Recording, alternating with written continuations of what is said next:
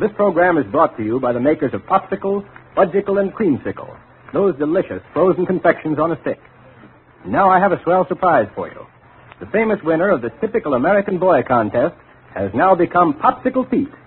And here's a message from him. Hello, everybody. I sure am glad to meet you. And boy, am I glad I was picked to be the typical American boy. Because now I'm Popsicle Pete. I always wanted to be on the radio, now I have a chance to tell you about some wonderful presents you can get free. Do you want to see them. Hundreds of them.